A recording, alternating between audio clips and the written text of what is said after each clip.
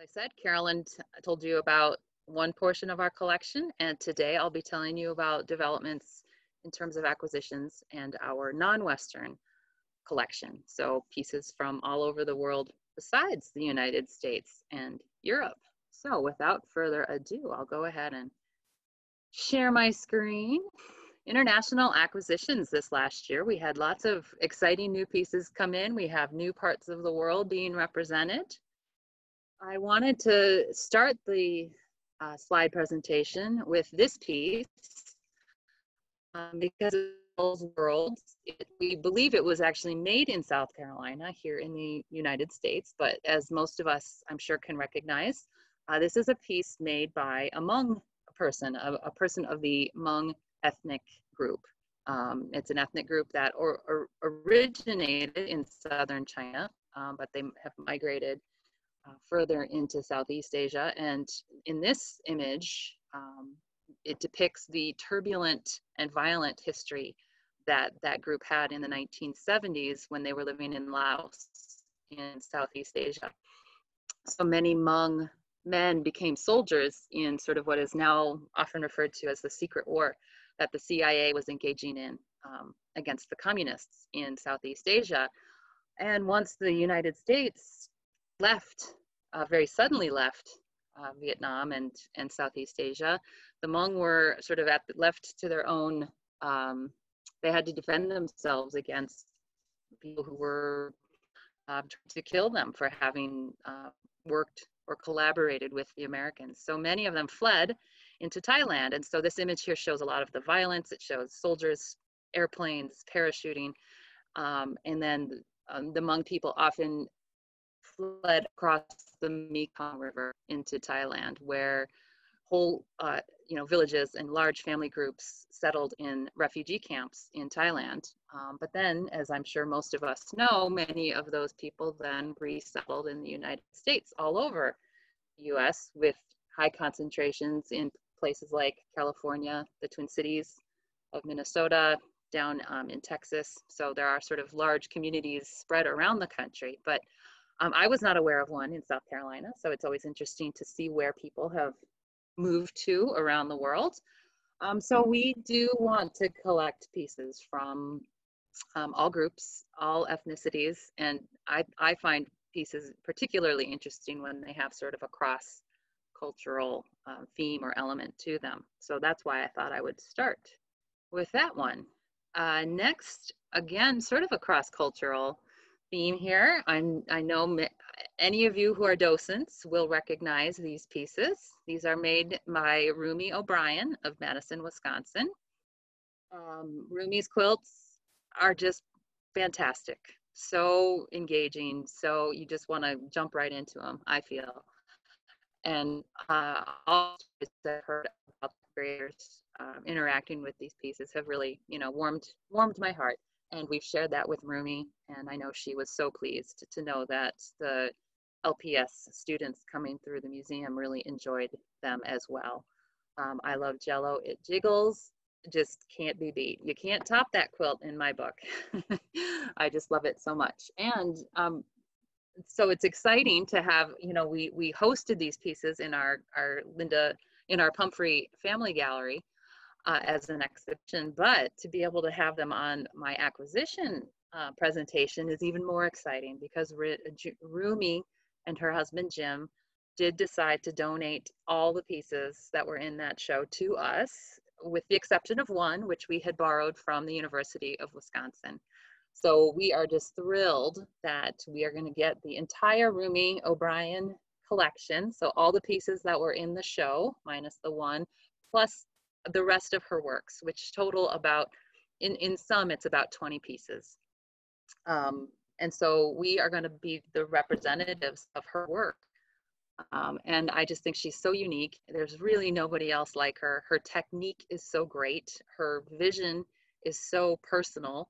Um, and yet, even though it's very much specific to Rumi, I feel like it's also universal. We all feel like we can relate to her pieces. So I'm just so excited that we are going to have the Rumi O'Brien collection. And as you can see in, in the um, object number at the bottom, these are so new to the collection. Although I, I, I should ask, they may be too specific, but they were so new to the collection when I first made this presentation that they still say uh, 2020.006.xxxx because they had not yet been fully brought into the collection yet. So I hope you all are as excited about this as I am. And speaking of um, Japanese American artists, you all, I'm sure, remember Emiko Toda Loeb, uh, whose exhibition we hosted last year. So really, um, also technically um, highly developed. So, uh, but but totally different looking. So I'm really excited that she donated another uh, couple of pieces to us while she was here last year. And we're also sort of in very preliminary pre preliminary discussions with her about building a much larger Emiko Toda Loeb um, collection to really represent her decades of quilt making. So of course, as you remember, she's really known for her double-sided log cabin pieces. And I hope you all were able to come to her demonstration last year because it really brought it home to me how those blocks are constructed. I, I kind of understood it, like I theoretically understood her process in action and to have her explain it in person really helped kind of round it out and make it more real to me. I don't know if I would ever attempt one myself. I still haven't quite hit that stage yet, but uh, they made them more um, approachable to me. Um, but what I love about them is that the two sides often are so very different and yet complementary at the same time. But she, on one side, often has the large sweepings, which are, you know, take a lot of planning when you're working with not only a double-sided block, but when you're working with geometric shapes. But she gets those sweeping arcs, and then a, a lot of times on the backside, she sticks with a bit more of a linear or geometric um, aesthetic. So again, we're so thrilled um, that she and her husband have decided to donate to us. Um, and as always, we see exhibition artists' work as a way to build a relationship with sort of the hopes that we can acquire some pieces to represent their life's work in our collection. Another artist in that same vein is Shizuko Kuroha, who you all remember as well. Um, her quilts we exhibited several years ago now. I can't believe it's been, what, three or four years now? Four years? I, something like that. Um, but again, um, she has a very distinct look. She, she has that sort of basic, almost limited palette in that she's working with antique indigo fabrics from Japan, indigos and sarasas, the sarasas being the one that the ones that have more of the browns and the reds and sort of tans to them. So she limits her palette in a lot of ways, but she comes up with such great compositions using that limited set of fabrics. So we have these two pieces, fireflies and flowers. I actually hand carried these home last fall when we were still able to travel. I brought these home with me. She, she donated these to us. Um, so also wind and a premonition of spring.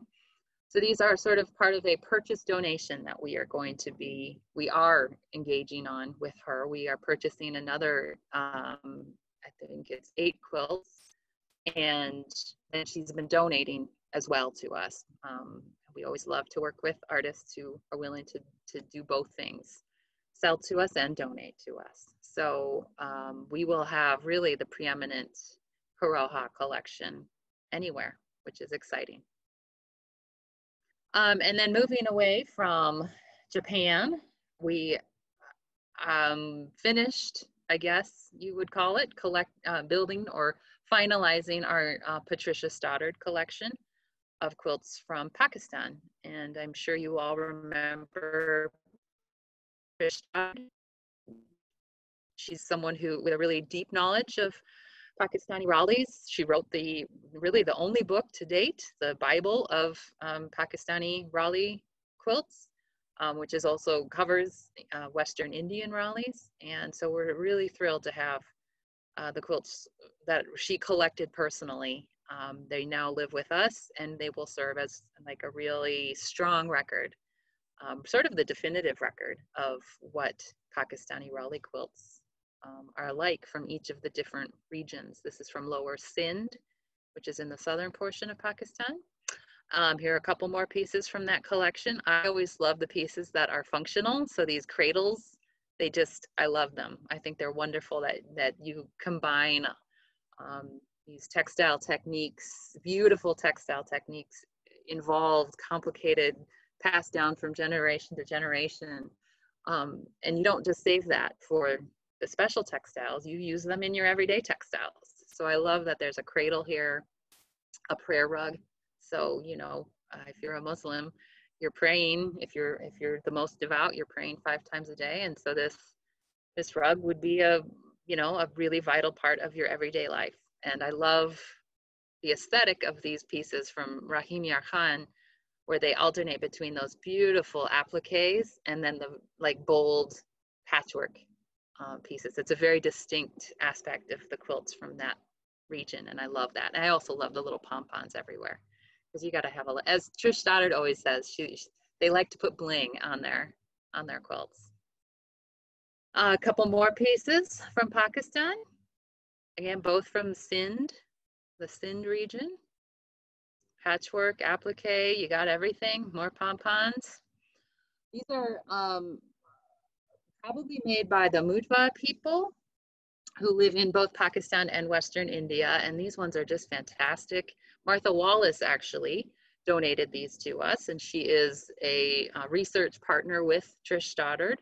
They both uh, did a lot of the research um, and ethnographic work for collecting and recollecting um, last year. Man, time is flying. Um, and so both of them have built up personal collections and it's wonderful that they see us as a home for the pieces uh, that they really loved adding to their collections. Okay, moving into um, kind of more into uh, Central and Western Asia, we have some beautiful quilted jackets. One from uh, Persia or Iran as it's known now, another from Syria. This sort of bolero style for the Syrian uh, quilted jacket is interesting because we have several other pieces that are probably from Syria, but they're full um, sort of knee length or calf length robes. So it's kind of fun to see one in this shorter style, but still really beautiful, um, complex quilting. And then those really lovely prints on the, the one from from Persia. In terms of Central Asia, I know you all are familiar with our Central Asian collection after Sacred Scraps a few years ago. Um, so we aren't adding robustly to this collection because Chris Martins, who curated that exhibition and who really is the one who helped us and, and built this collection for us, um, we really feel like it is pretty representative of Central Asia. We still add a few pieces if they're particularly beautiful. And in Uzbekistan, ikat, silk ikat fabrics, where the, um, the warp threads are dyed and then put on the loom in a very specific order, uh, pre-dyed and then, yeah, dressed on the loom. Uh, those ikat fabrics are really, really um, characteristic of Uzbekistan. So anytime we see a piece in good condition with some great ikat um, and with motifs we've never seen before, like these like wagon wheels in an American patchwork quilt, we, we can't turn them down.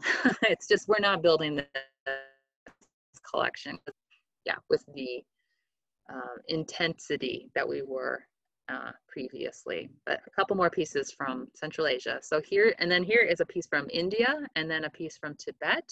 Some really beautiful silk brocaded fabrics. Um, the one on the left possibly could have been used during a like a wedding ceremony as sort of like a, a tent or a canopy. The one on the right from Tibet is made likely from uh, silks that were brought in from China. So they were probably made in China, but they were brought into Tibet and often they were given to um, Buddhist, Tibetan Buddhist um, priests and to the temples as sort of offerings from rich or wealthy um, sponsors and patrons. Um, so they had these just really high end silk brocade fabrics in them. And yet they were meant to sort of be used in a very austere setting, in a very religious setting. So there's sort of a an interesting interplay there between the, the richness of the fabrics and then the setting of, you know, of, of austerity and spirituality. Uh, we have a couple of new pieces from, again, from Persia and moving into Turkey, Western Asia a bit, this beautiful quilted prayer rug.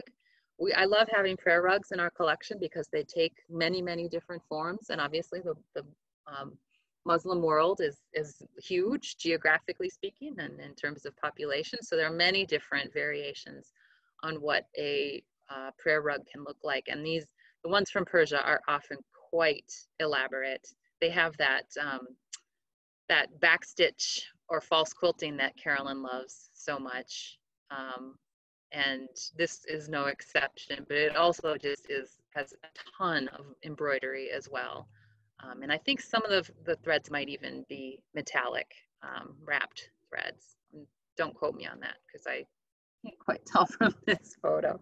And then this block printed piece from Turkey um, is a little bit unique for our collection. We have lots of whole cloth, uh, several whole cloth quilts from Turkey, but this block print um, is, is a segment that adds to our collection in a new way. Here are a couple more pieces from Turkey. Um, we are trying to firm up our turkey collection, which sounds really odd to say, the turkey collection. Um, and Chris Martins, again, is our helper in that effort. She travels to Istanbul every year, although this year will sadly be an exception, but she knows lots of dealers in Istanbul and she goes to the bazaars and the markets. She is she is really my gold standard for a, an intrepid traveler. So we really rely on her to help us um, build these collections. And Turkey is one that, yeah, we are kind of focusing on right now and adding pieces like these that have these uh, really beautiful uh, metallic embroidery um, elements as well as like sequins. These are things that we do want to add uh, to make sure they're represented as a segment of the Turkey collection this was a fun piece that we got this year. Um, I have been looking for one for a long time. They you don't come across them very often. They are robes that were more, worn by the Mahdist soldiers uh, in Sudan, in northern Sudan. And this is we're talking in the last two decades of the 1800s, so the very last part of the 19th century. Um, the, they were uh, rebelling or they were fighting against uh, the Egyptian rulers, and then eventually against the British.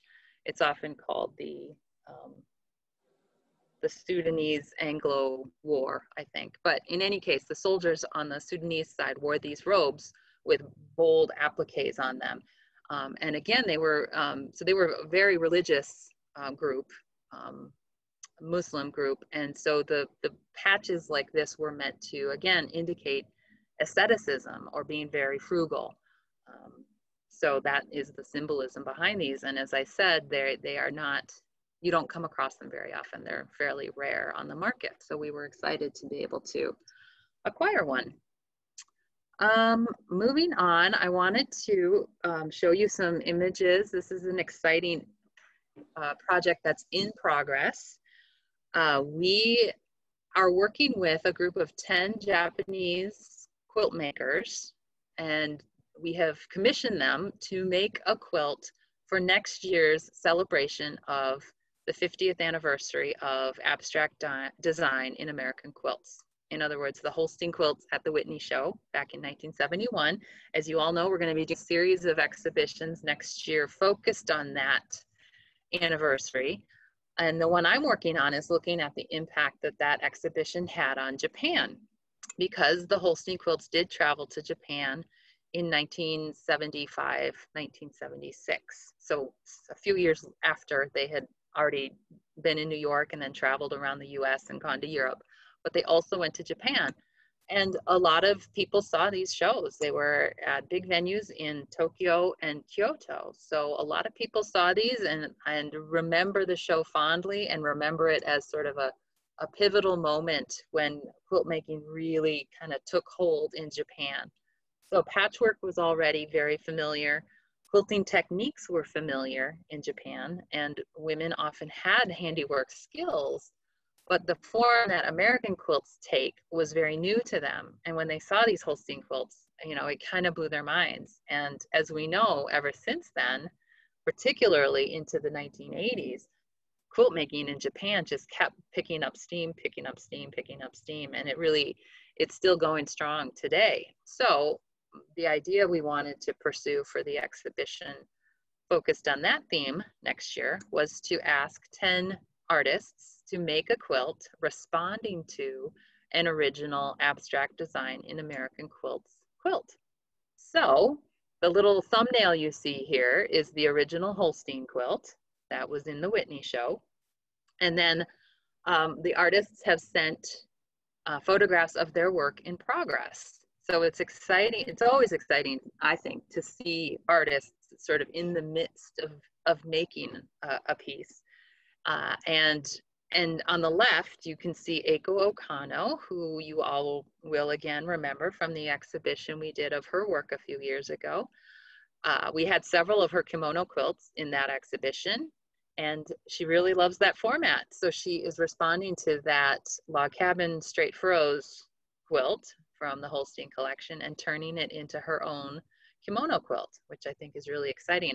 We asked them to really sort of respond to the original quilt using their own sort of methods, aesthetic choices, sort of make a melding of the original and their own artistic sensibility. On the right, you'll see um, Kuroha-san, Shizuko Kuroha. And yeah, so we see that format or that color palette again of the blues and the tans. Um, that really is what she always um, responds to.